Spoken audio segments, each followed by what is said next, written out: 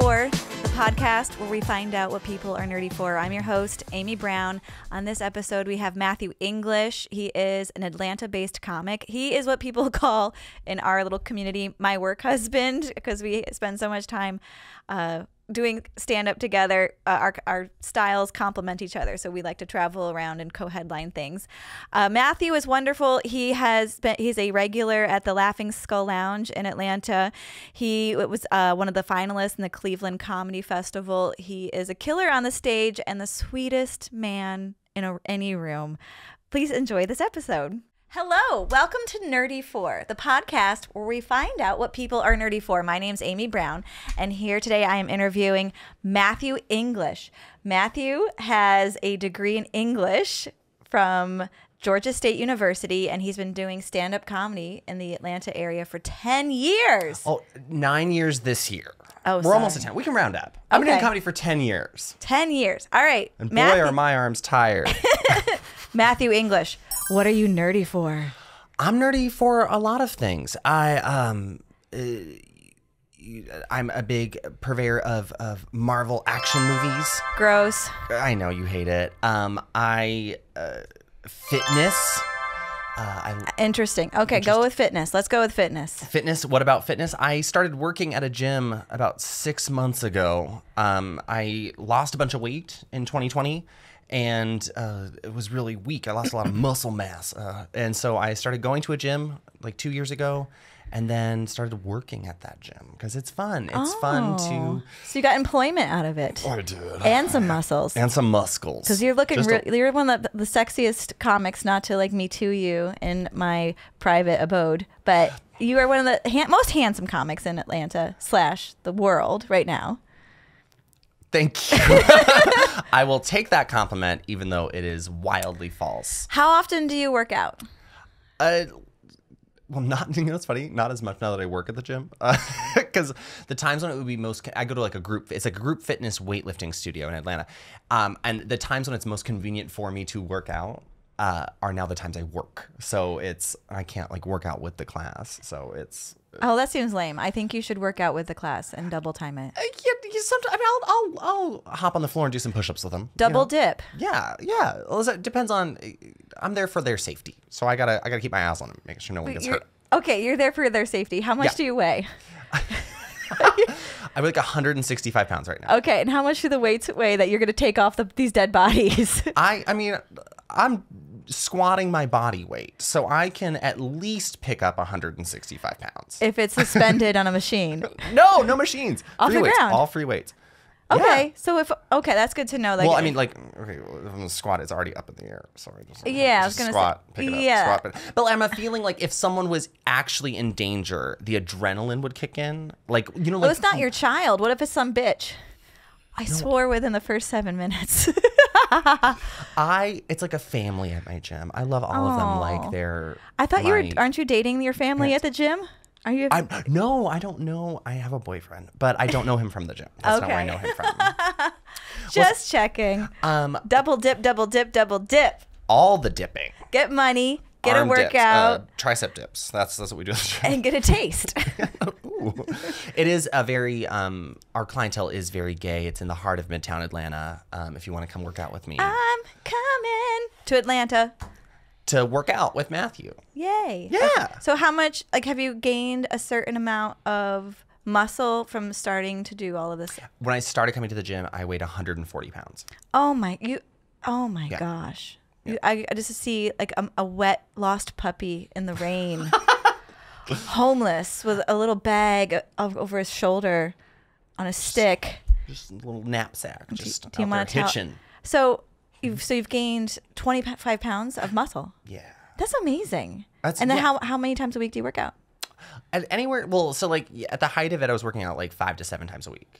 Sometimes two Five a to, days. that's all that's every day of the week is 5 to 7. yeah, That's a lot of working out. that's a lot of working out. But it, No it- wonder they gave you a job. They probably just assumed you worked there because you kept because coming I just every kept day. showing up.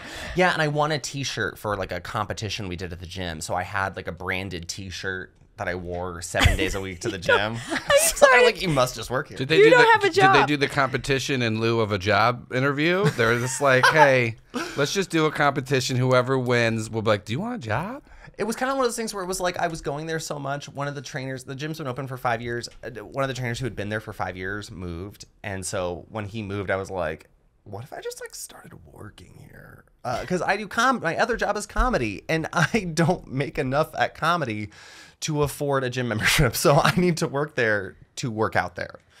That makes sense. Yeah. Yeah. I, my theory about comedy is in Atlanta is there's one $20 bill that's being won and it's being Venmoed around the city the every city. night. The $20 bill does a couple circuits. Yeah, no, we all just hand that same, and some of the comics uh, use it to do drugs. So Oh. that's A, yeah. a lot of them do. Oh, I'm so naive. la la la la la. Everyone's us. happy. Yeah, everyone's just- everyone's we're a bunch of nerds. Everyone's just going in the bathroom in a group because they're friends. Right? That's- eh, they're So just you need a pep friends. talk. Maybe you had a bad set because you were on drugs. Um, we've never gone to the bathroom together. Well, let's. We've already slept in the same bed. True. There's a selfie to prove We it. could go to the, if you're in the bathroom with me, something terribly wrong has happened. That means I'm throwing up and you're there to hold my hair. That's yeah, no, that's yeah. That's we're not going to the bathroom to do drugs. We're going there to like gossip. oh, that sounds. We can Amy just gossip Brown does here. not gossip though. I don't like to say anything not. poorly about anybody, which is not going to make for a very exciting podcast, unfortunately. Don't worry, me- I'll say bad things about other people. That's perfect. I dubbed this the year of Spicy Matthew. I'm done. I have a, Oh. a humble brag. I feel like I've got a very good reputation in the community for being a nice guy. Like there was a roast we did as a community, and like a couple of comics on the roast on the dais were just like, "I've got nothing bad to say about Matthew. He's such a nice guy." Not anymore. Here, shots fired across the bow. I'm done being nice. I'm oh done. my gosh, you're coming out again. Again. And now you're gonna be a sassy bad queen. guy. Sassy queen, or is he? Uh, Mar- what Marvel character would you be as this new? Uh, are you gonna say it like it is, Matthew? Or are you gonna invent some shit about people, Matthew? Like, what are you gonna Oh, do? I've done that in the past. I've, Oh I've made God. rumors, but they were pos. I made positive rumors about people. That that's something Oh I did in the god, past. that's lovely. yeah. That's not mean, Matthew. So that my favorite one, I worked in an office for years, and um, I started this rumor that um, one of the employees that I worked with, someone, some peer of mine, we're, we're the same same position, um, that she was the former, she was a former dancer, a former gymnast, Olympic level gymnast, who got injured and then became a choreographer and worked with Paula Abdul. And I started this rumor just in my office. Was this before the internet, so no one could like fact check it? Well, this was like five years ago. Oh my and so it it when it finally so then I became like a trainer at our office, right? So they would fly people into our office. I would teach them this software that we used, and then they would go home. And I remember like I had a, a class in from Tampa, Florida. And so it's like sister company. And they, um, I was like, okay, so it's like, let's just break for lunch. Like, uh, I showed you guys where the bathrooms are, where the break room is. Like, does anyone have any other questions? Just any, anything that you want to like recap from the morning or any questions about the office and like where things are, if like where nearby food is. If you, you know, you guys have a rental car, you can go get it. And they're like, we actually have a question. We heard someone in this office used to work with Paula Abdul. oh shoot. Who is it? I was like, oh my God, it left our office and went to another office in another that line state. has legs. Yeah. It's traveling. It's like- beyond you now. I was like, her name is Dawn. She sits at the cubicle over there. Go say hi.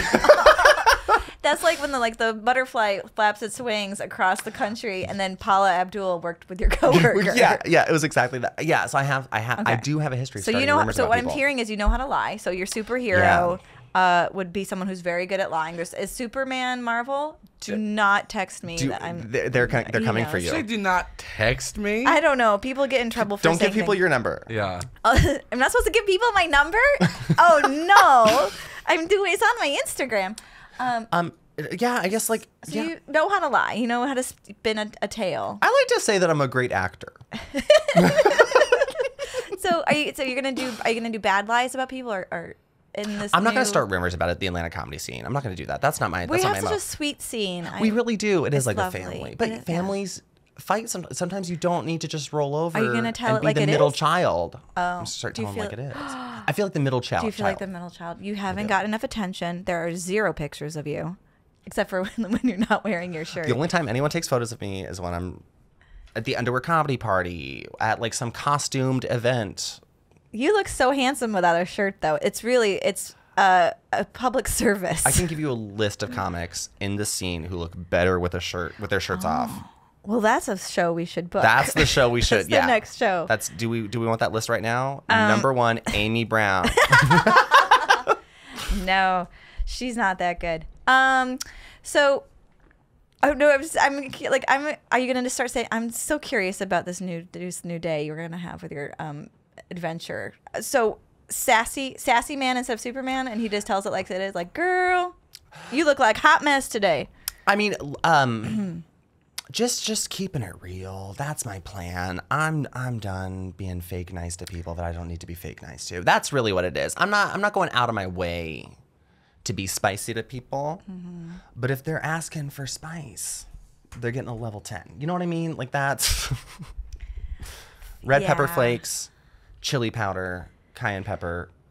I, I feel like in the South, the though, sauce. fake nice is the status quo. It's fake nice, you walk, oh my God, how you doing today? So good to see you. And so, like, that's the status quo. And so, if you don't get to that level just to say hello, they're like, oh my God, are you okay? Like, Are you mad at me? you, yeah. Not yet. Are you from Keep the North? I'm not. Do I have an accent? Do you want to tell? Have Do you want to tell everyone um, how you lost your weight? Because that's usually what people are very curious about. That's yeah, and it's the crux of one of my jokes. Um, uh, if I'm known for two things in this comedy scene, in the nine years I've been in comedy, um, it's for being very dirty and very dark. Um, those are the two things I'm known for: dark and dirty, but with a smile. And um, so that's uh, the the bit we when we go into the bit about uh, losing 40 pounds in in 2020. Um, it's because my mother passed away, and that's the punchline. um, my mother died of cancer. Um, I lost a bunch of weight, so it was real sad. And uh, and yeah, so that's so so it touch I touch a lot on and I my history of dark comedy, you know, even before my mom died, I was doing dark jokes because I've dealt a lot with depression, anxiety problems.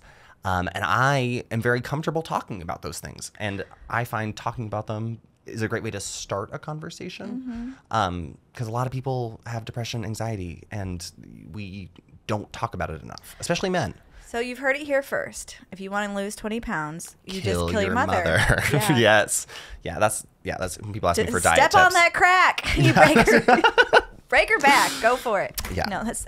I want my mom to stay alive forever. Yeah, no, uh, uh, we all, and I, I, a lot of us do. I should say most of us do. Some people don't have great relationships with their parents, especially queer people. I'm very lucky to have, have and have had um, two parents who were so wonderful through the through the coming out process. I, there, there were learning curves for everybody involved, um, you know, and it took it did take some distancing, and then coming back together in the early in the you know first couple years after I came out. Um, it definitely we were always very close. We are a very close knit family, and then um, I came out and it put some tension in the family, and then we came back together and we were even closer. So what happened when your brother came out? Yeah. And then seven years later, my brother came out. I have a brother who's seven years younger than me. Uh, to the family, we both came out at 16. Um, it kind of did like throw a little bit of salt in that wound that was already there, you know, or it kind of reopened that wound um, What was in a weird way. what was their dis like? What was their feeling like?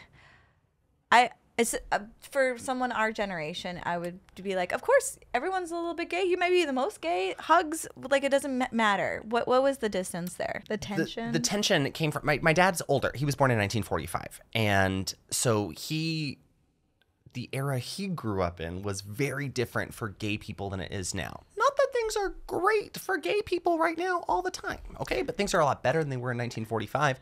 And so, like, when he, he said that, you know, when he was in high school, 16, 17, 18 year olds used to, guys he went to high school with, you know, he never participated, but they would go get, you know, Millers, go get drunk in the parking lots of gay bars and he grew up in Cleveland, Ohio, and he would wait for gay. There was like one gay bar in Cleveland, and it was this big, big old secret. But they would wait in the parking lot and beat the shit out of grown ass men, like 40, 50, mm. 60 year old men coming out of a gay bar That's so sad. in the late 50s, early 60s. that sounds like a movie I watched. Yeah, it's yeah, and so that's that's what my dad thought being gay was in Yeah, yeah. He was worried to get beaten up. He was worried about 2008, worried you about your safety. it was all about my safety. It was it was that's he and he also didn't understand you know it not being a choice, not being something I could change, and he's so it, a lot of it initially came from like, why would you choose a life that's harder? and he thinking about like putting myself at risk for you know violence against me and Mm-hmm. just adversity in the workplace or you know just anywhere you know just any kind of system When I came out, face a- adversity uh, just out of my mom's vagina, and Yeah. she's like, "A girl? Why would you choose to have a, that wage gap?" yeah that's right henry viii like you had a choice What in a it dumb baby. I don't know who controls this. Um, but yeah, so that's and so when my brother came out, my my uh, I am the middle child. Um, so it's um, of comedy and your house. of comedy and my my family.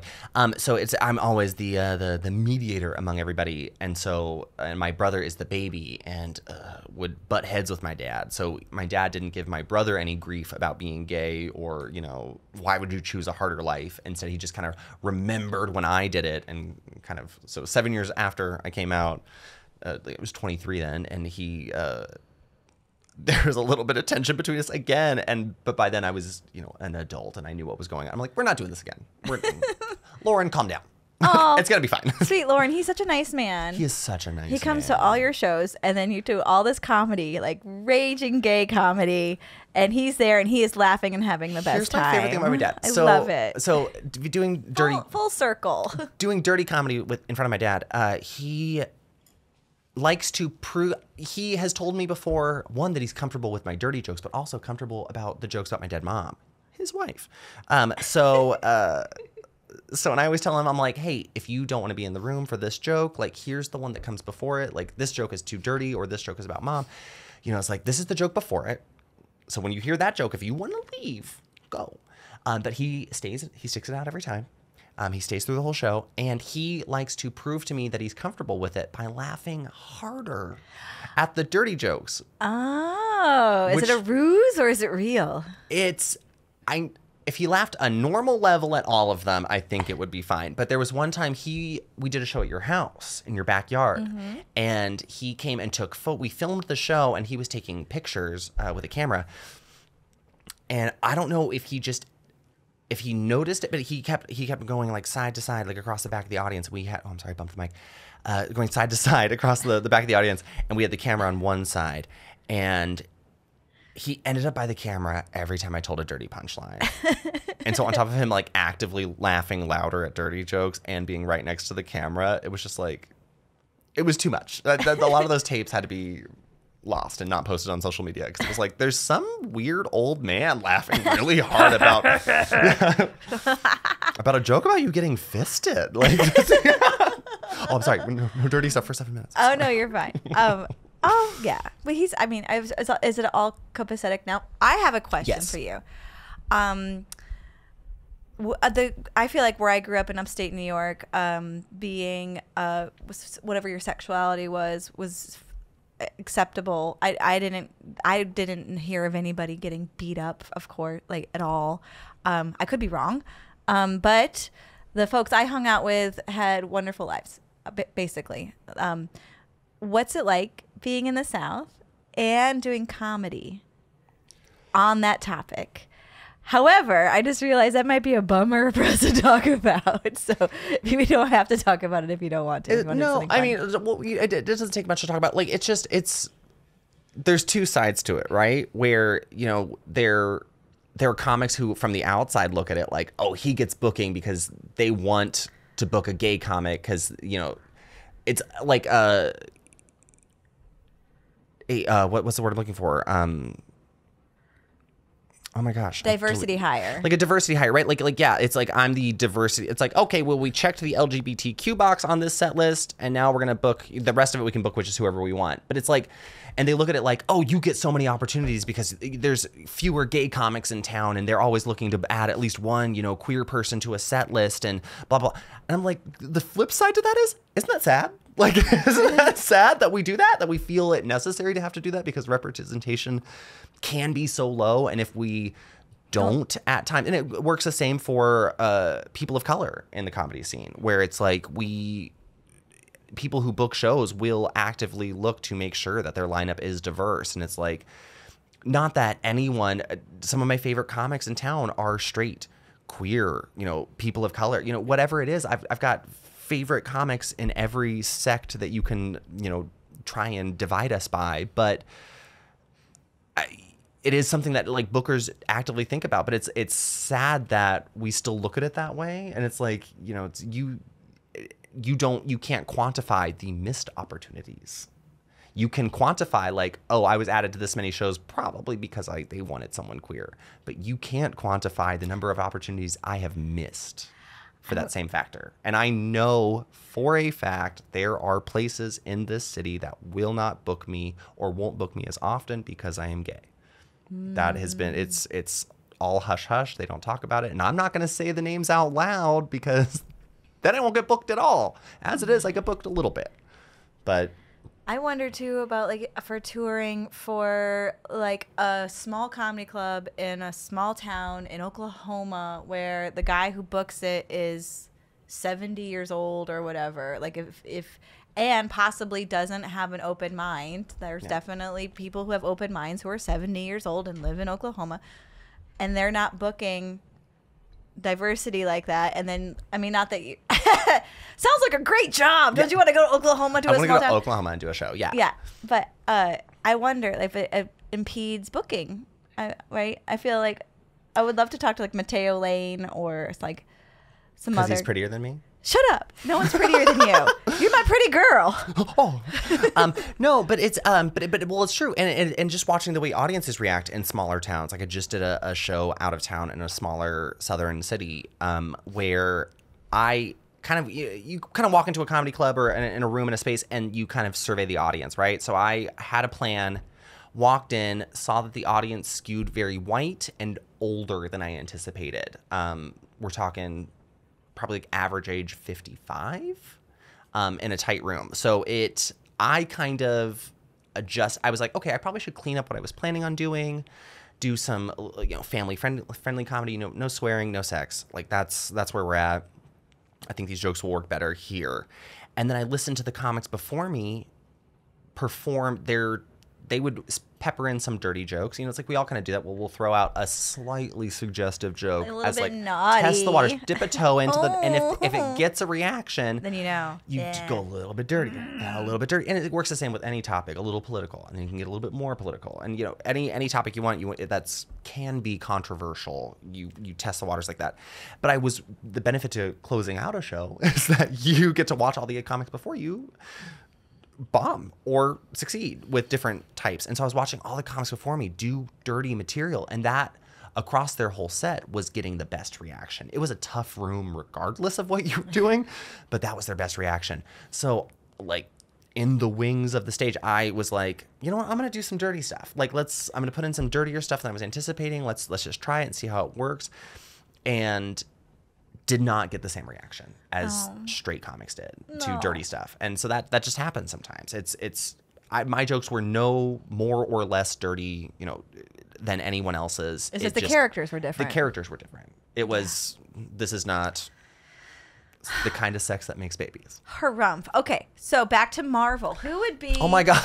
the who would be your character that goes throughout the country and just flips the switch in all everyone's brain that's like all these jokes I just laughed about that were about boys and girls together be just as funny about two boys or two girls or two theys or they and the she uh, all the things what would they be the the name of that marvel character go I with the name. Oh, I'm making my own character. Yeah. Um.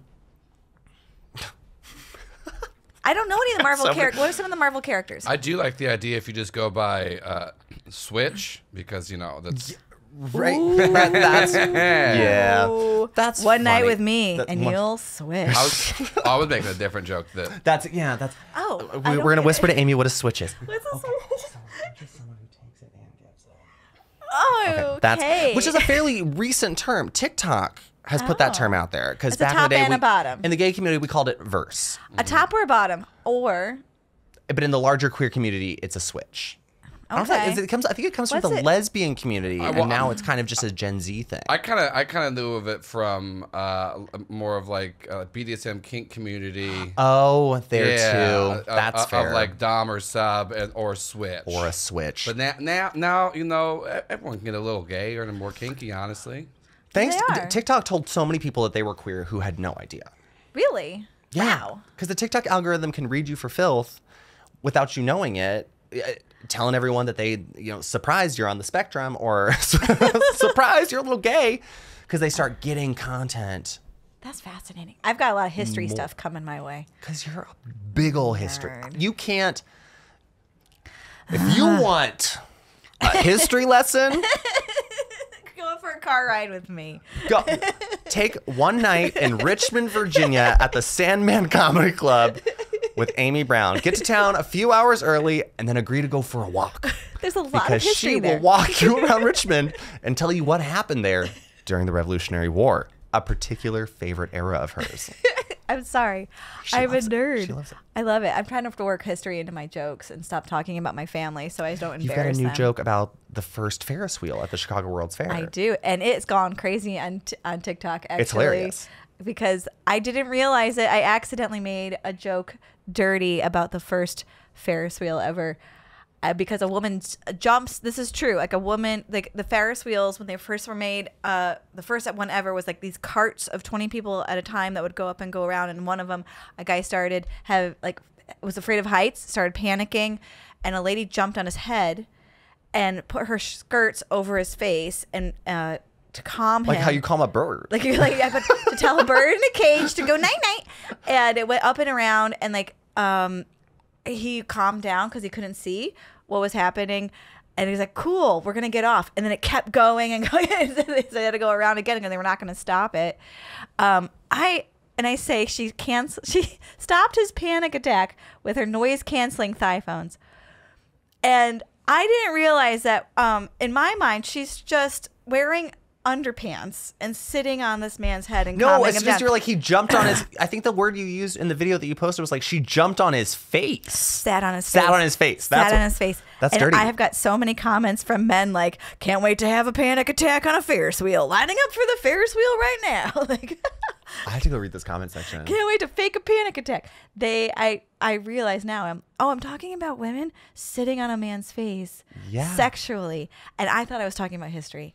I am so naive. So I'm sure it happened back in history. I'm sure everyone sat on people's faces, but to be cl- doing your comedy for several occasions, chopping it up into clips, you, getting the subtitles, but reading the subtitles, and then posting it, and then getting the men like, oh yeah, that's sexual. I that's my in my clean joke material. I'm so bad at this. It is a clean joke. okay, so I know what a switch is now. I You know know what a that Switch sitting is on now. men's It's faces not is just sexual. Or A gaming face. console by Nintendo. It is. Okay. boop, boop, boop. All right. Should we talk? I was going to say we should talk about something fun and happy. And then the next thing on the list is depression. Depression. Do you want to talk about depression? It's fun when you're not in it. Are you in it right now? Um, I'm I'm I'm diagnosed with major depressive disorder, so technically I'm always in it, which is Yeah, yeah not to brag. yeah, not to brag. Um, which is different from clinical depression, which is like a bout of depression that that, that can strike anybody. Oh, you don't know. The call's coming from inside the house. Um, but major depressive disorder um, is what I was diagnosed with at the age of 16. Um, and because I tried to kill myself.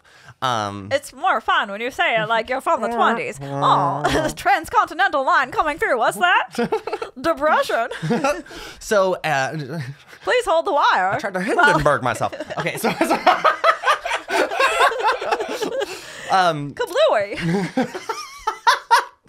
So uh, yeah, so uh, major depressive disorder, um, generalized anxiety disorder. Um, those are my my official diagnoses. Um, from a, a very lovely psychologist who I saw on again, off again for the next like ten years. Um, uh, Oh. and yeah, because I would feel fine, and then I wouldn't be fine. I'd like go back Rachel and, see her and again. Ross. Just like, hey girl, guess what happened? I did it again. oh, no. um, yeah, and so was she a good therapist or? amazing. She's Okay. amazing. So Um, Matthew's still here today, so that's uh, yeah. that's proof. he, she's either a great psychologist or I'm just like really bad at killing myself. Oh, baby. That's just add it to the list I can't do. you know, they- Something else to be depressed about. Jesus Christmas. Um, they say um, men actually uh, are better at killing themselves than women. Typically, men are more successful. because they do choose more violent uh, means, and uh, like uh, teenage men are uh, the like it's number two killer of teenage men. It's Wow, I didn't suicide know that. and car wrecks are number one. Oh, that's so sad. Merry Um, Christmas, everyone. remember when you said we gonna talk something fun? Sorry. But no, it's um, it is serious. It's very important. Um, and if you feel hopeless, reach out to someone. Um, ho- feelings of hopelessness um are usually an indicator that you are close to getting uh, suicidal. Um, that's Or you need a nap. I feel I feel hopeless every day at 1.30 and then I take a and nap. you take a nap, and, then you I have better. a coffee and I you feel might just be hangry. um, it's yeah, that's yeah, and I've got jokes about it too. You know, and and some people I've had I've had a lot of people after a show talking about you know doing jokes about depression, uh, suicide come up to me and they're like, "Thank you for talking about this. Like I went through something similar." Or Amen. Had fewer people, but still a fair number, tell me that it's those jokes are inappropriate. They're in they're um they're unkind. They're you know this is a serious topic. You shouldn't joke about it. My opinion on the subject, and different people have different theories of comedy on this. Uh, no subject is off limits for comedy, in my opinion. There is a right and a wrong way to joke about something. Um, you know, this and the, because you say there's there's no off limit topics, and then like what about rape jokes? It's like well, if you are a survivor of rape and telling a joke about it is a coping mechanism for you and it st- worst case is that you've offended someone but started a conversation. I hate that i've offended you talking about suicide. Um, I, I- that i've triggered you that i've offended you whatever it is you know that i'm sorry that you feel this way but now we can talk about it. I'm off you know come talk to me off stage. I'm off stage now. I'm silly goofy hoo-hoo uh, uh, on stage. Off stage let's have a real talk about it. Like that's i'm down for it. You know I, we'll start with an apology for offending you. Um I'm not going to apologize for my joke you know but this is very much like sorry you feel that way but this is a conversation starter in my opinion and i and that's comedy has a place there's and some people can't talk about it without telling a joke. Me i can't. Um, that was you know my number one goal in therapy was like can i get the doctor to laugh if i can that's pretty good I think it's great you talk about it. I um I had suicidal thoughts when I was pregnant with my second child. you told me that before And yeah. yeah, that's the lowest I've ever gotten. It was just yeah, when you're like, uh oh, I'm gonna kill two people. Don't tell the Republicans. Oh no! um, it's yeah, it's real scary. Um, oh, I thought of a really bad joke. Oh, I'm ready. You tell me. We can You cut it to kill out. yourself wh- wh- while you were pregnant. Yes. Where did you find a hanger big enough? oh no! That's really That's not good. That's a good. That's a good joke. I liked it. That's a good Georgia joke. I was in Colorado. I would have found someone to do it legally. They'll be like, I'm sure we can hotbox your have the car enough to lo- like yeah. execute you both of you. oh Largest pot brownie ever. Oh my god. Yeah, Death by pot Candy was brownie. The first woman to overdose. Uh, yeah, it's yeah, it's yeah, d- depression, suicide, very scary, very scary to get that that that level of darkness. And please reach out to someone. There's there's you may feel hopeless, but there's there are people out there who can help you. Um, whatever it is that gets you to that place. You know, it's like a, what a death in the family, a, a loss of job, uh, loss of home, any of like any of the you know, any of the big life changing events. Did your depression come back when your mom died? Is that why you lost the weight, or you were just too sad to eat? Because just I, get sad, sad I to I eat. eat and drink. I um really what it was was just like I took up chain smoking cigarettes and drinking coffee. It's like I was just too sad. Like I so I was one too sad to eat, and then on top of that was completely suppressing my app un- unintentionally. Like it was just that was a byproduct of these things I was doing because my sleep schedule got like I was depressed, so I wasn't sleeping, so I needed coffee during the day to stay awake. So I was drinking so much coffee. You did the 1950s uh, weight loss program. Oh man, like it, and I'll, that yeah. my grandmother was thin, and she drank Sanka all day long. Jen Kirkman does a joke about that, about losing weight after her divorce. Um, and she's like, people ask me how I lost so much weight after my divorce, and it's like I stood in front of my TV and smoked cigarettes all day. Like that's, but like it's an appetite suppressant. So I'm like, like it works. Don't do it, but it works. Um, and coffee's the same way. Like coffee, another caffeine's another appetite suppressant. So it's, but it was just too sad to eat. I didn't care to eat. I just, I just didn't care. Like it, nothing. And like, yeah, it's nothing nothing felt right. You know, anything I did felt off. So it's like the things that I would normally do, like feed myself, sleep, bathe. Like I didn't want to do any of the no- nothing felt normal, so I started acting abnormally. Okay. Let's talk about Starbucks. Yeah, see, speaking of coffee, my heavy coffee addiction, I was already addicted to coffee before I got a job at Starbucks. And now I've been at Starbucks for 3 years and it's only gotten worse. Heyo. Heyo. I drank I drank uh, two ounces of four hour old espresso before a show, medicinally, and this guy almost threw up in his mouth. You can't drink espresso. That's old. Okay, so listen. Tell, It. tell the tell us this is your nerd. Okay, we need to know all of like the words, like the lingo about coffee. the so what happens when been- espresso's best served, best best drink immediately after pouring. Right. That's when you have that lovely layer of crema on top. That's a little like the light brown foam on top. Right. That's mmm. Crema. Beautiful. The crema. How you spell it? Uh, C R E M A. Um, C R E it's Italian. Va bene. There you go. Um, could be French. I don't know. A lot of a lot of fancy places with with good coffee. Um, lots of fancy languages and countries with, with good coffee.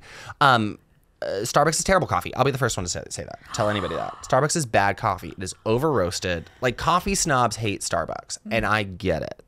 However, I drink coffee for free there, so I Love it. love it. Uh, yeah, You don't even have to break your twenty dollar bill that you get for doing comedy. yeah, oh yeah, that's that's so that's so true.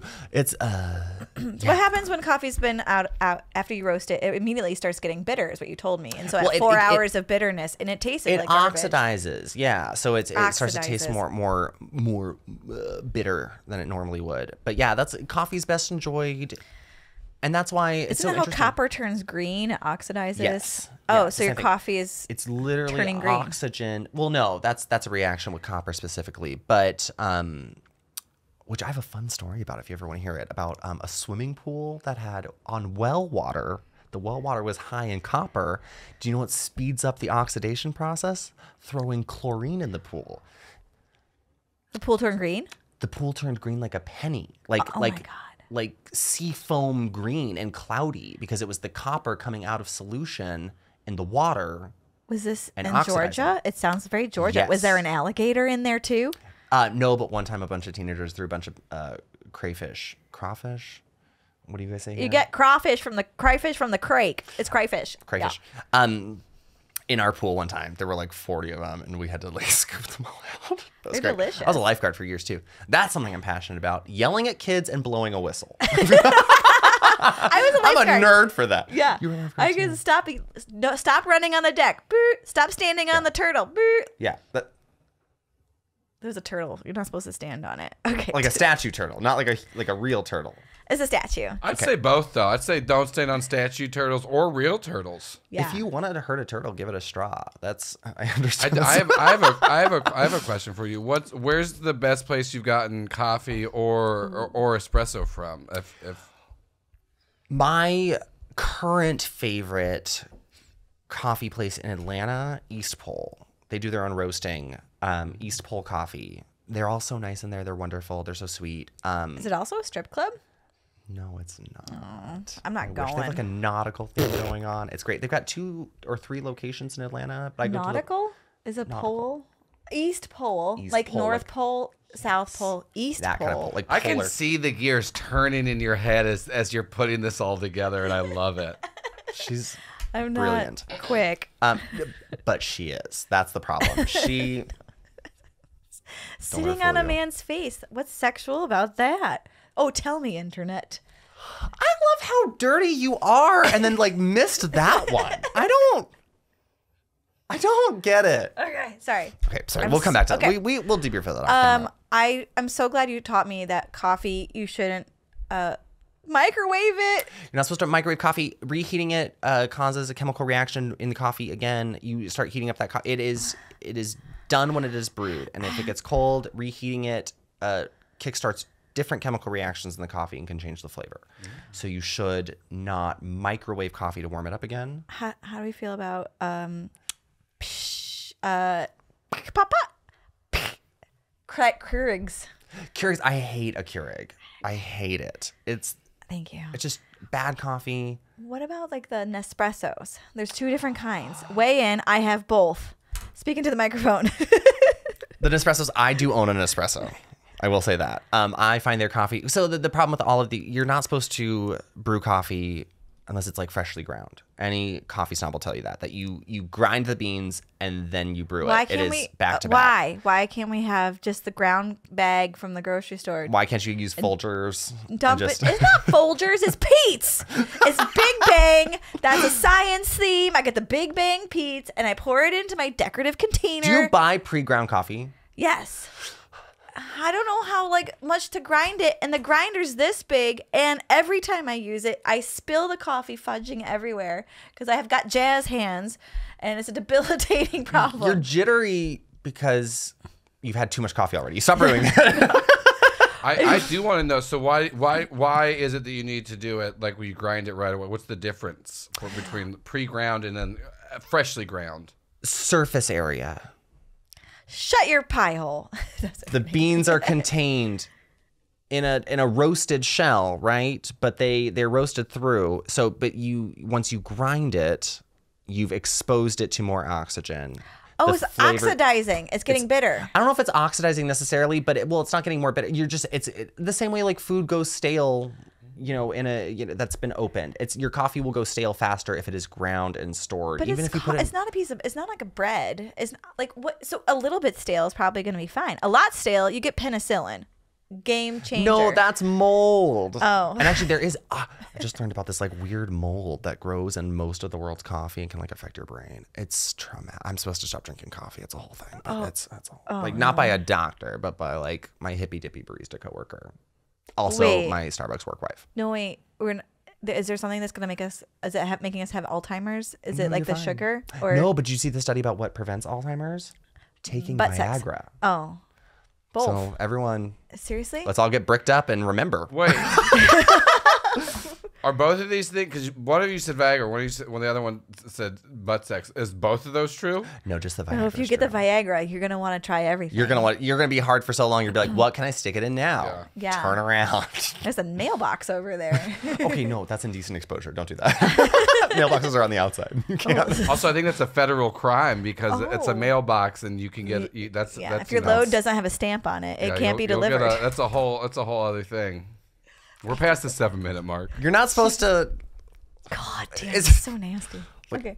Like, I don't lick my envelopes because after COVID, I want to put my mouth germs on the envelope. But I have been coming on the seal, to, and I've got a wax steel stamp. that I just Okay. Um, crunch. That's me opening my okay. mail. So we're we're not we're supposed to grind it at home. Supposed to grind it right before you brew it. Who the who can grind coffee before they've had coffee? This is an imperfect Oh. system. Yeah, no, uh, it's a lot. And I'll be, am I being 100%? Like, I have like batch ground my coffee. Like, I'm not a purist about this. I'm just telling you what the coffee snobs would want me to tell you. Okay. Like when you, you say do- batch, how much do you how much do you grind ahead of time? Like So here's that I have a grinder at home, but it takes forever. It's slow because it's not like an industrial grinder like we have at Starbucks. So I will batch grind like a whole pound. Of, we get a free pound of coffee a week, and so I will take a pound of coffee, batch grind it, take it home, and then that lasts me. like, I'm an honest. I'm I'm taking mental notes on this because I do buy pre pre pre ground coffee, but I, I I this is convincing me to where I'm gonna go and get a grinder You and should then get a start grinder. getting beans. Yeah, no, absolutely, and I can help you. I can help you. So the, the problem with the grinding yourself is the um you change the grind. Uh, so you can grind it really fine, a really fine. So like the finest grind would be like a, a Turkish coffee. That's the fine, and that's actually like it's almost like sand. Like it's so fine. It's such a fine grind. Or you have like um on the flip side of that, a French press is going to be one of your coarsest grind. We talk about the coarseness of the grind, right? It's it's like um like a it's not like sa- oh so like a Turkish is more like uh like An espresso. Powder sugar almost like not between powder sugar and granular sugar is how fine Turkish coffee grinds are. And then you've got like um uh uh what am I trying to say? Um like a French press grind, which is more like been to like Hilton Head, South Carolina, like their sand. Like kind of like an Atlantic southern Atlantic I didn't realize sand. we had a Rockefeller on our podcast. I'm not allowed back in Hilton Head, and you know why. Is It's dirty. I had sex on the beach. Okay, great. Uh, not, so, not just the drink. no, and not there was just a the wedding and a gazebo involved. okay. Good for you. Yes. Good No, for you. not good for YOLO. me. Shame for shame. YOLO. oh my god. So should I should I be not? This is also for the listeners. I'm asking for the listeners. Yeah. Should I be not using a introduce coffee Joel. maker? They know I'm the producer. It's Okay. fine. we should I- still. They know Amy too. Well, you know, she's the face of it. I'm I'm the the faceless voice on this. Anyways, should Mom? I, sh- should I, should I be using because I, I just have like a, a drip coffee maker. Should I be using something else? What's let me talk about the preparation. So okay, that's fine to a use. drip brewer is fine. Yeah. So you want like a medium grind? Do you use like a, me- a reusable mesh filter? I have there's like a mesh filter, and then I do put a, a coffee filter. You put a in paper there filter in there as well. Double It gets, it gets messy. You, so you, what else you should do? This is a fun fact. If you use A a, paper paper filter, no, that's rubber. Water doesn't. No, the purpose of condoms is that fluids don't pass through them. Amy. I don't Love know you how so much. work. I just touched her thigh. Sex. Okay, I'm getting canceled. Um, you should wet your paper filter Now, why is that? to get the paper taste out of it. Oh my god. any loose paper particles from the mashing paper cutting process are still on and in that filter. You should run water through it, wet the filter before you use it. Interesting. Now let me ask you this: Have you heard of using eggshells to cut the acidity, like putting the eggshells in the grind? Have you heard of this? I have heard of this. I I've never buy better coffee. If you don't like the acidity of your coffee, buy a different roast. Like there's different roasts of coffee Yeah. that can tamper um, acidity. That, I, I was told this over the holidays. Uh, I was I went up to Michigan to visit my, my girlfriend's family, and so we, we, we were given like Folgers at like the motel we were staying at, and it was not Folgers is awful. And then my girlfriend's mom was like, "Oh, uh, here, take eggshells, use this in your coffee. It'll help cut the acidity." So it was like a low low like I didn't have access to better coffee, but it did. I, it was a noticeable difference of the acidity to use eggshells. But Interesting. That was the first time I ever heard of it. I've never done that myself. I've heard of that, but I've never done it. Um, I've yeah. never heard of that. I've heard of like eggshells being like ground up and used in makeup in like the 1600s or something like that. Well, as soon as I learned it, eggs went up to five dollars uh, a, a, So a, a was- crate. So I was like, "This is I can't Not do this. feasible I'll just anyway. get better coffee." it's um so yeah different regions of the world have there's kind of three major coffee growing regions there's latin america africa and then like um in, in asia like out in like indonesia the pacific right um and so and different areas of the world tend to produce coffees with generally different flavors right so uh, my, my preference is for african coffees that's where you can get more of like the fruity floral notes in a coffee whereas um I find Asian coffees to be more acidic, um, which and I, I also don't love the acidity in my coffees. That's why this eggshell thing. If you if it's verified by Joel, Like I said, I'm I, trying it, it was like a noticeable, and this is like Folgers, so we're talking like bottom of the barrel, but it was like a noticeable difference. Like this tastes because yeah, we did not have like we just had like they just gave us like powdered cream. We're in a very small town in like Michigan. Yeah. did not have a lot of options. I couldn't like run down to the store kind of thing. Yeah. So that's yeah. So different areas of the world will will produce, and like um, Latin American coffees are typically more earthy tasting. So that's kind of like your general. And granted, there are, you know, that's just the kind of like the general guidelines that that like beginner level coffee. Like I'm not a super coffee expert. There's people way more know. I like to think of myself as a jack of all trades. I know a little bit about a lot of stuff. Uh, just enough to be like interesting at a dinner party, and then you ask a follow up question. I'm like, I don't know. I like uh, my, one of the questions I have on here is uh, what can I say at a cocktail party about your topic? So, what would be a cool thing to say at a cocktail party about coffee? Um, something I say about coffee at cocktail parties is You haven't. I'm sorry I'm talking so fast. I've had 16 shots of espresso today. I say that a lot, actually. I'm sorry to destroy your bathroom. I had 16 shots of espresso today. You know, that's something interesting that we're not talking about right now. Sorry, I painted the wall in your powder room. I find that diff- brewing different brewing styles affect whether or not I'm gonna shit myself. Oh, this is a game changer. What's a brewing style? Like, okay, so you've got espresso, which is Steam. well no that's the, you steam the milk for like a like an espresso based like a latte you'd steam the milk but like so it's it's coffee under pressure forced through grounds right? So uh, a fine grind fine-ish grind not as fine as turkish coffee but finer than uh, like a brewer. And you uh, pressure it's uh, you have to force the water through the grinds um, and then or the grounds, and then you've got like a, a, a standard drip brewer. That's like a you know your coffee. pot percolate. A, a- there's a Percol- percolator. Is that different? There is diff- that is different. Yes. Okay. You've got a French press, which um, is like a st- almost like a tea. That's uh, most akin to like We- tea brewing. We you had a French press when we first got married, and I I broke that motherfucker real quick. Do you hate it? Uh, No, I just can't make coffee with glass before I've had coffee. I've got jazz hands, and it's very hard. the Nespresso sounds perfect to you because you pop a pot and you hit go. Like that's, and I do love my Nespresso. Don't get me wrong. I interrupted you. No. So which one makes you um paint the wall? Personally, The, bowl. the the quote is, "Amy, it looks like a homeless man destroy this toilet." yeah. If if Are you we want me still to even still married? home, serve me drip coffee. Drip coffee. Drip coffee? I can handle all the espresso in the world. Okay. like one cup of like black drip coffee, I gotta go. And then the flip, yeah, and there's then there's also cold brew, which is kind of like the new fascination in coffee. Coffee's always brewed hot, but because of the roasting process, coffee is generally like anti or uh, not antibacterial, but but bacteria and parasite free because of the roasting process. You already have heated the beans to kill anything in them. Um, so you can grind it and brew it cold because it's not a whereas you can't cold brew tea without some sort of purification process involved like Because there could be things growing in because there could be growing things in the leaves. They may have been dried but if you're brewing like fresh tea there's certain factors that you can't decontaminate cold brew tea. But that is another growing trend it's cold brew tea.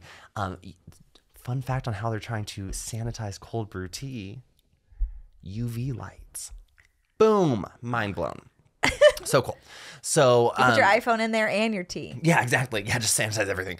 Um, but so cold brew coffee is instead of brewing it with hot water, like iced coffee is hot coffee that has been iced. That's how they, they do iced coffee. Um, cold brew is steeped cold. It's cold water put into grounds of coffee. And so it takes a longer you have to let it sit for longer because the heat helps speeds the extraction process of flavor out of the coffee. So with cold brew, Starbucks, their policy is 20 hours. It steeps it What's water the benefit? coffee sits Why this? Is it Just because different flavor. people will p- pay more money? Is it less bitter? it, it, at the end of the day, it's going to depend on the quality of your beans, the quality of your water. Not how you're distilling it. Like, yeah, if you if you don't like the flavor of this cold brew, try a different cold brew roast. You know, it's like they'll, they're specifying roasts for cold brew now. It's still kind of like a newish, like I mean, it's been going on for a while. Don't get me wrong, but it's still like newish to a lot of the com- coffee community, and so they're still figuring it out. People are now specializing roasts for cold brewing. I've heard. Okay, so um, I did a lot of research on addiction uh, during the pandemic. Mm, not because of margaritas. Uh, What are you and drinking right now? Margarita, and, and um, they said that like, pe- like if you give a child alcohol, it will not drink it. It tastes awful to them. And if you give coffee to a child, they won't drink it. And no one would drink it until you, they get the connection in their brain that they're going to get the high. So, all of this dancing we're doing around coffee and we're doing around alcohol, we're, our brains are just um, being triggered to get the high. And that's why we like the flavor of a martini or a cold brew because our brain's excited for that hit of our addiction. Well, it's funny because we develop, we describe both of those flavors, alcohol and coffee, as bitter flavors, right? Because there's what you can taste sour, bitter, sweet, umami. I'm missing one. Salt. Semen. Or, yeah, and and Salt. and semen, salty semen. yeah. Those are the Battery five. Those are the five receptors that you have on your tongue, right? And they're all chemical reactions. And the the ones that trigger bitter things uh, genetically were developed to prevent us from eating poisonous things. That's because Yeah. typically poison in nature, things that are bitter are toxic to us. So we have a receptor for them to prevent us. Whereas like capsaicin, the thing that makes spicy food spicy, right? It's a chemical compound that we it makes our our you know mouths feel numb and, and we taste spicy food because we so peppers developed capsaicin kept specifically in their seeds because our stomach acids are too strong. So you've seen the peppers and or the seeds in a jalapeno, the very thin shell on them. That shell breaks down in our stomach acid. We are not carriers of this seed. We can't go poop. You can't eat a jalapeno, seeds and all. Go poop outside and make a jalapeno plant, right? Like you. You get your- not your with that attitude. Your st- your stomach acid's too strong for it. We're not supposed to eat them for the plant's livelihood, right? Yeah. So we so jalapenos develop capsaicin so that we stop eating them. It's supposed to be unpleasant to us so to prevent us from eating it. Do you know what animal can't taste spicy food? Birds. Birds don't have receptors for capsaicin. They can't get the same reaction to it because their stomach acid isn't as strong as ours. So they can spread jalapeno seeds, right? So they're they are the intended eater. Who's supposed to eat Twinkies then? Us. If you eat Are- a Twinkie and you go out in the Are you saying something cream filled needs to be eaten? Because that's my specialty. I want you to make a Twinkie tree in the backyard. And your Marcus said go. Got it. Done. But so same with same with other things. However, plants have learned we have developed right uh, plants just in, in in order to not be eaten by us. Even though coffee is not toxic. I mean, like enough caffeine will kill you, right? But like even though like coffee is not toxic to us now, like it still tastes bitter. That is remnants of the coffee plant trying to prevent us from eating it. So we're not supposed to eat the coffee, and we just do, and it makes us high. We do, and it, yeah, we get a great reaction from it, Cocaine, and it's addictive. chocolate, Yeah, it's the you you yeah. Cheez Its. How caffeine works, you ask? Great question. It blocks the melatonin receptors. What? Yeah. That That was my understanding. Oh, no, no, not the melatonin. No, that's melanin. Oh. Melatonin, but no, not melatonin. I'm forgetting the name of the enzyme now. Or not the enzyme, the. Oh, fuck. Cut this out because I sound like an idiot now. We all, everyone's an idiot. I, I told you I know enough about something to sound like mildly educated, and then you ask me a follow up question. I'm like, no, but yeah, it blocks the receptors. I think maybe it is melatonin because it's a, a, a receptors in your body that Melanin. Okay, melatonin. Melatonin is a naturally occurring thing. Yeah. So I yes, could see yeah. that. Yeah, it blocks the melatonin receptor so that you don't feel tired. But I think that there's another chemical reaction involved in that too. It blocks something else as well. So you're not happy? remember the- I r- disagree. I feel so That's happy. serotonin, dopamine. You're thinking of those. two. Oh, melatonin makes you sleepy. Ah. so it you're like- blocks the receptor so that the melatonin in your body can't bind to it and make you feel sleepy. That's and and jacks up your circadian rhythms, and so you don't sleep at night, and you never get really rested. who's sleeping anyway. All the fun stuff happens at night. Why would Oh I sleep? Not you. Okay, I have a little quizzy quiz. Okay. Um, I don't know how long are we going? We still got time.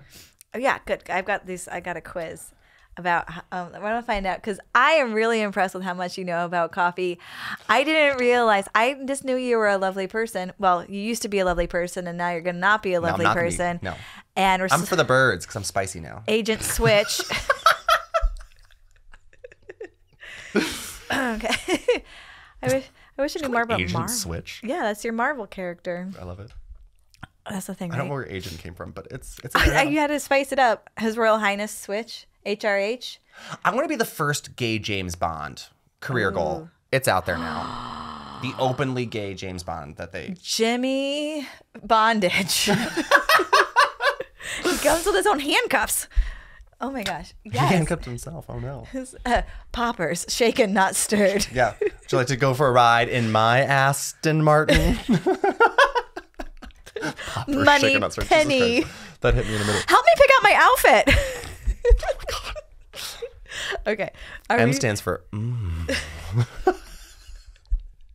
I just I the idea of all of the all of just all of the gadgets Q's giving Yeah, I was you. like, the Q branch is just a sex shop. just- yeah, it's just dildos and pop. He's like, and this you're like, are there poppers in there? Yeah, there's poppers in there. There's definitely some more that's- poppers. Yeah. what happens when I press this button? The dildo inflates. Like you know, it's like, like an airbag. It's for safety and for He's like, here's a harness. You're like, what's this for? Going out? Yeah. just you know. just to wear. Honestly, it's fun. Oh my gosh. Okay. Okay. Have you ever been to Comic Con? No, I've never been to. No, you know what's so funny? I lived in Atlanta, or so we moved to the Atlanta area when I was 12. I started college at 17, and I remember getting on the. Tra- I took the train to school, and I remember getting on the train one morning and being like, "What the fuck is happening?" And so I got to my chemistry class, and I was like, "Y'all." Everybody was dressed as Batman on the train this morning. I don't know what it was. They're like, "Oh, it's Dragon Con." I had never heard of it. so no, I've never been to any sort of Comic Con, Dragon Con, any any of You're the above. con the I've never been cons. to a, a convention of nerds. Okay. Have you ever owned an, a unicycle? I do own a unicycle. And back to back, Present tense. I still do. Yeah. The- Continue. The, the, the wheel is flat, but I. Who's got a bike pump? Let's let's go. I have a bike pump. I cannot ride it. it's really hard. It's really hard. and you have a boyfriend now, so you you're, you're busy. You can't be learning a unicycle. That's for I can't between hurt lovers. my butt any more than already happens. oh snap! So, uh, unicycle. Uh, so in summer, so just as a fun summer gift, and then my birthday, and then Christmas, back to back to back, six months of gifts from my mother. I was fourteen or fifteen. She made me stilts, like on a with a table saw. My mom homemade me stilts. Oh my god! For my birthday, bought me a unicycle. oh my god! And then that Christmas, I got a set of juggling balls in my stocking. Oh, she was trying to send you off to the circus. She wanted me to run away. The middle child. I was like gotta 15. She was like, get out. go to the circus. Go I be can't believe she made it. I, I And can't then juggle. they're I all can't- upset you're gay. That's on her. That's all- she also introduced me to musicals. So Oh, well, she's Yeah. just a good mother then. We love musicals. Okay. Have you ever had a woodwind instrument? no, A clip on tie. uh, I have worn a clip-on tie before. Yeah. Can you tie a regular tie now? I, oh yeah. I I had a clip-on tie when I was like a kid. Okay. I'll allow it. I started wearing real ties when I was 15. Well, I learned how to tie a tie when I was I think it's like coming out uh, for debutante balls, not sexual identity or whatever. Uh, for gentlemen when they stop wearing a clip-on tie, you're like, I'm ready to get boned now. I, well, and it's like when like the debutante, you know what a debutante thing is like? yeah. Yeah, like like I'm 16. Girls. I'm 18. Is it 18 now? I'm ready for marriage. Um, yeah, no, uh, I had to wear. I was on the varsity tennis team, and on game days we had to dress up in a suit and tie, or uh, sorry, a, a shirt and tie. We had to wear That's so a collared cute. shirt. Death Star Lego, No, I did have a lot of Star Wars Legos, but never the Death Star.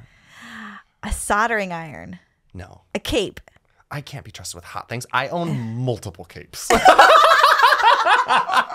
I. But they were mostly all they're mostly no entirely sketch comedy oriented. Sure. Okay. I was a superhero called O Man. The O stand stood for orgasm, and he stopped crimes by forcing people to have an orgasm. like he was like, "Meow, meow, meow, meow, This meow," is- and they were like, oh, You did, did you know that that's literally uh, uh, Matt Trey or Matt Stone and Trey Parker, the creators of South Park, made a movie called Orgasmo, and that is that is what that is about. I had no idea. I ripped off a joke. I, I It's- haven't seen it's it. a really parallel thinking. It's that Yeah. well, it's it's about one of them. I forget who, which one of the it's the blonde one. He is a Mormon going door to door, uh, and then he has like he knows how to fight. He gets cast into porno because he has to make money. Uh, and, and but the the porno is orgasmo, and he has a, a ray that makes people orgasm. okay, so that's good to know. That's we're we're cutting that sketch from the. You don't want to get sketch a lawyer team. phone call No, well, I don't. If I know once I'm made aware of someone having a similar, premise. almost identical joke, Yeah. Uh, that's a really. I feel like. I mean, don't feel bad about it. But, like, you know about it now, but yeah, like I know about it now. Yeah, It was a we won't do very obscure movie back in the day. I don't think many people even know. That's yeah. No, well, no one on the sketch comedy team told me. So take that, Matt Parker. Okay. What's the uh, next question? have you ever sorry. owned a ferret? No. Have you ever held a ferret? No. Not that I can. No, I don't. A Harry so. Potter wand? I do not own a Harry Potter wand. Um, my children do. I would love to though. I've Mm, they're never been. I want to go to Harry Potter wa- World. Like I wanna uh, go to too. My- more, what, what's it? I'll go with you. My kids are too old. That, yeah. Take me. Let's, Let's go. go. Okay. Yeah. I've never been to Universal Studios. Coin collection. I so sort of, but it was inherited. That doesn't count. Sword. A sword. No. So yeah, you're straight. Or no, he's a gay man, not a lesbian. Uh, yeah. I Good. What would I do with a sword? I didn't want to get into fencing, but it was uh, the For the outfit. Uh, ooh. I love a mask that I can like Just the tip. partially see through, but I can't make out your face. That's kind of sexy. I love some ano- anonymity. and you don't the know what gender they are. And it's got the I have tight pants. okay. An aquarium. I've been to an aquarium. No. Oh, I own an aquarium? No, I did win a beta fish at a carnival one time, And you were the and my sister's like, cat. I'm already the beta. So who's gonna be the alpha? My sister's cat murdered my fish. I walked Oh. in from either tennis or piano were my two high school activities. Um, my parents wanted me to do something competitive in high school, so they signed me up for piano. But I played competitively, a still a solo sport. Okay, um, and my sister's was cat was on the counter batting my beta fish against the side of my tank. Oh, just gotta play with it. I didn't do fish after that because it was really sad. I'm sorry. Do you know Morse code? I did. I learned about Morse code in seventh grade. I don't know why in seventh grade, but that's when I did. And so we learned, my friends and I sat in a trifecta in Miss Valdez's English class. By then it was eighth grade, actually. And we would wink and blink messages across the room in Morse code Oh my god, that's adva- advanced. until because dot dash dot dash you know so you got you got dot dash so we were able to wink and blink mess so I, you'd just be staring at someone it looks like they're having a seizure and you're just taking little notes You're just talking shit about the other students We with your to- eyeballs. That takes eye rolling teenager to the next level. and i'm the one that got caught i got caught uh finally she goes do you have something in your eye or something why are you freaking and i was like I, no i don't I, she goes are you guys morse coding with your eyes across the room yeah and she's like as long as i don't see it during a test and then she just let us keep doing it oh my god. kept doing it. So wait, which class was this? it was an english class like a lit class Oh, and then you majored in English, so you were fine. Like it wasn't even a big deal. My degree was in though not in literature in rhetoric because I wanted a degree in how to win Facebook battles uh, over politics. Oh, perfect. How's it going? Um, I've definitely not changed any minds, and it's been a waste of my time. And my little Apple Watch likes to tell me that my heart rate is at exercise levels because I get so mad sometimes Yeah. that my heart gets real fast. I mean, the pandemic coffee. was a really great time to explore this avenue of Facebook trying to change people's minds about things. There's one in particular. Who is it that has the joke? The wonderful joke. Oh, um, Olivia uh, Steele, Atlanta comic, fantastic, uh, kind of kooky energy. We love her. Um, she has a joke about her mom on like her hometown's Facebook page, like causing shenanigans, and that inspired me to join uh, the town I grew up in here in Georgia, their Facebook local Facebook page, just to see what was up. And it's rural North Georgia, and people like to say some shit about politics. Uh-huh. And I like to. I have a literal degree in how to argue, so You're just like sharpening your knives like a chef. Like this is like it's genuinely fun for me to because like we learned like how to it, you should have been a lawyer. that well that was the plan that was the plan with a rhetoric degree but my mom was a lawyer but like i can walk someone fully into a circle until what they say like i've done it on a handful of occasions where it's like you can walk someone all the way around to your back to your point But you can't take the Chardonnay out of their hands, so And they're then not at the going end, to they're like- notice. at the end they just go like well, fuck biden and then they like block you it's great you never change any minds it's a Yeah. complete waste of my time but i have so much fun doing it I'm glad you enjoy that. I, this, do. This is perfect for your new persona, spicy matthew Spicy Matthew. yeah I love it. Okay, how are we doing in time? Rapid fire questions. Go Okay, um, your wedding at Disney, yay or nay? absolutely not Do you have a framed puzzle? no Have you ever said huzzah and meant it? No, not meant it. I've said it, but I've never meant it. Ha- okay. Um have you ever was there ever a time in your life where you refused to let your parents take photographs of or your parents refused to take photographs of you? No. My dad's like an amateur photographer. He followed us around cameras all the time. Have you ever uh, made your own clothes? No, I have no skills that produce a tangible result. have you ever okay, have backups on a hard drive and because the cloud doesn't count? Um, not. I have backups on a hard drive, but not for that reason. But Oh, because wink. they're yeah They're they're, nudes, and I don't want them to leak. Ooh, secret hard I don't drive need a cyber hack of your hard drive. Heyo. Oh, oh, have you ever written a fan fiction? No. Oh, for a show, fan friction. Were you a part of that as well? I don't know if you were. I never heard of that one. I don't know if you did that with us. I couldn't remember if you were there. It was. It's right up your alley. No, it was. Um, two fandoms. We had to write fan fiction about them colliding. I we did Quentin Tarantino movies and Star Wars. So you had to write a narrative. So we redid. Essentially, we redid. My team redid Star Wars. But No, it's only redid sh- Kill oh, you only shoot the feet. Is what is this? Is that what the crossover is? No, sorry. We redid the, the narrative of Kill Bill with Star Wars. We plugged Star Wars characters mm. into Kill Bill. That's what that's essentially what our story was. Yeah. This goes along to the next question. Have you ever said that like that's not canon? Because my Star Wars nerd son says it all the fucking time. I have said that's not canon. I didn't I have said that. realize you were this much of a nerd. I like I, I, have a lot of like weird nerdy things that I keep. Your your list DL. of nerd possibility questions is a very interesting one because some of those I don't I wouldn't consider nerdy. It's just kind of weird and eccentric. But also, you know, that's what this podcast's for is finding out there's there's there's a wide ranging things. we're all nerdy for different things, and I didn't know you had a PhD in coffee and tea and brewing styles. What a treat, right? I literally learned a lot about coffee, and I'm gonna go buy a grinder. I stopped week. I- I microwaving my it for you. coffee at, because of your friendship with me. Yeah, you're not supposed to grind. grind- Yeah, and you should grind coffee as you said. I can. I recommend a vacuum sealed container and a grinder. Um, I got those. Things I have a beautiful glass one that's next to my coffee pot that's decorative. Does that work? Is it like an actual vacuum? Oh, or- fudge no. Okay, then no.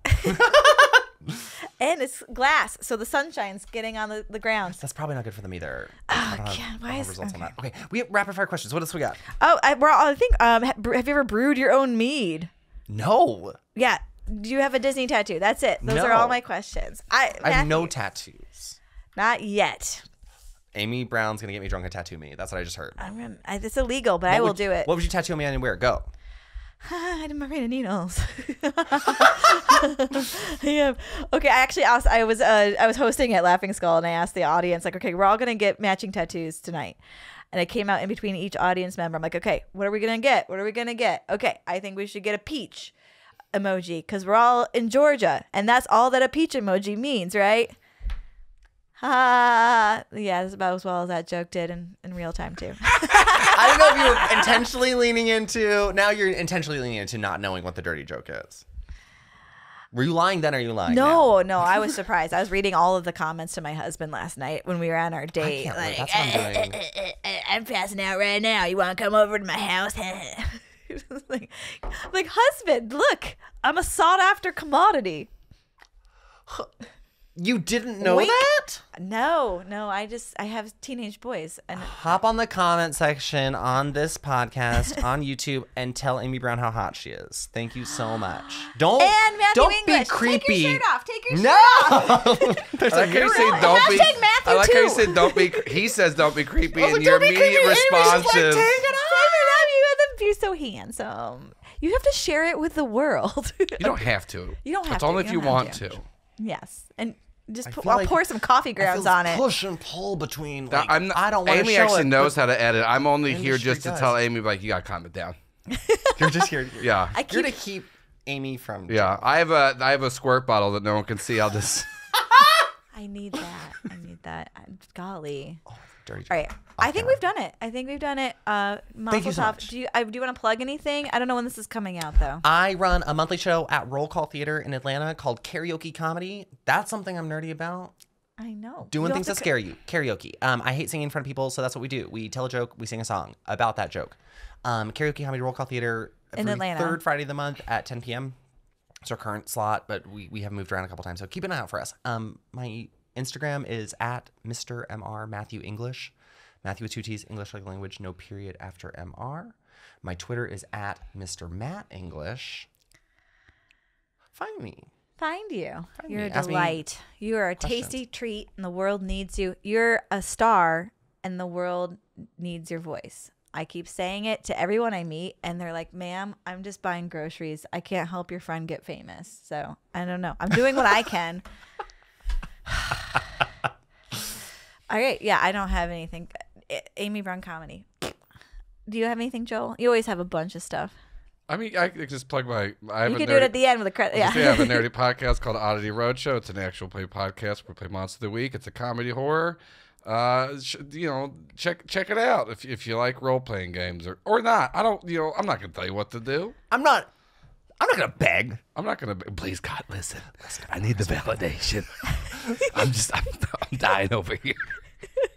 It's just a voice. Oh, If if you guys, if you guys want to know what Joel looks like, that's You can't tell on the other one either because my other podcast it's just audio only. There's no video. Well, you can find me honestly. You can. There's. I'm. I'm online a lot. You can. It's really easy to find me. You can Google me and you can see me do a bunch of stupid stuff. what would I have to post? What would what what tweet could I tweet right now that would enrage you so much that you would try and fight me in a mm-hmm. Twitter battle? I don't really. kn- I don't know. About- 140 characters less. Chicken? I don't. I don't like to engage people online that make me mad. I just kind of ignore them. Okay. But sassy Matthew Yeah. needs to Spicy come. Matthew. Spicy, sorry, spicy Matthew Here's Matthew the thing: if needs you to re- fight. if you really want me to get get get at you, you got to say something like a dumb, stupid take. Not like that. I'm like, oh, you're wrong, but like.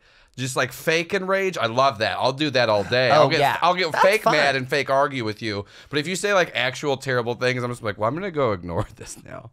But yeah, That's anyways, he- way healthier than what I do. yeah, I would like to plug the podcast Nerdy For, which is a really good podcast hosted by Amy Brown too. Uh, I'm a producer on it. Uh, and if you're listening to this, right now. It's, oh my oh god. no, Plot twist. That's what you've been watching slash listening to. It's calls coming from inside the dress up closet.